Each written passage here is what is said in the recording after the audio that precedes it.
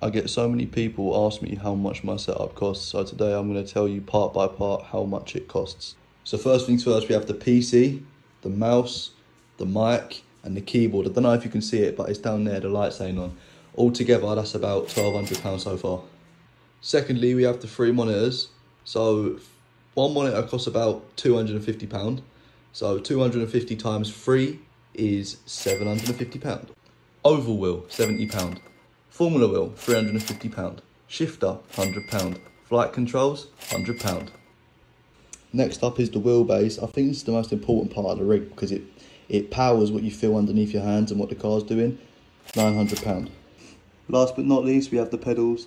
These are also very important, obviously, and these come in at £550. So with that being said, I think a rig comes to about £4,800 in total. So yeah, it's quite a lot if you think about it.